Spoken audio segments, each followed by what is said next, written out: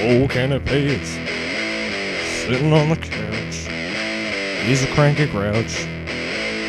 Old canapes, hunting them deer, drinking that beer. Oh,